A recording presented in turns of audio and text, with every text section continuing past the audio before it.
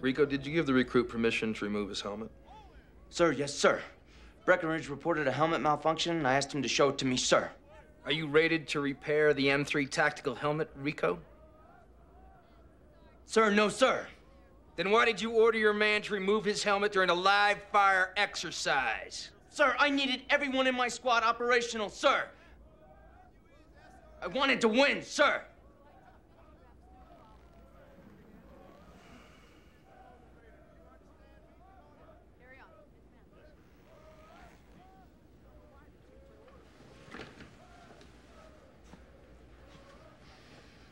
Sergeant, we've already lost two recruits over this incident.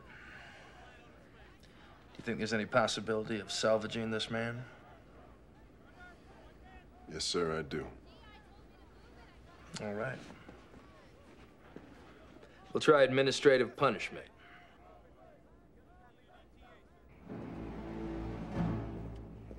Prisoner! Halt!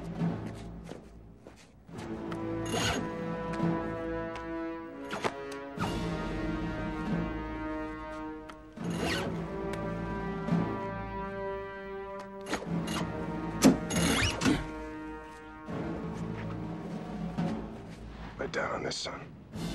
It helps. I know.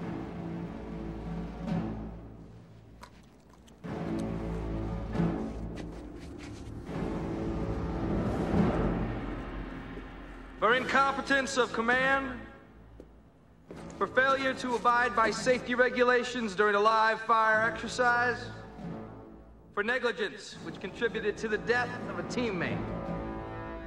Recruit trainee John Rico is sentenced to administrative punishment.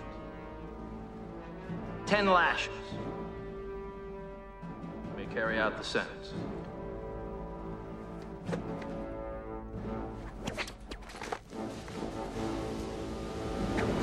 One!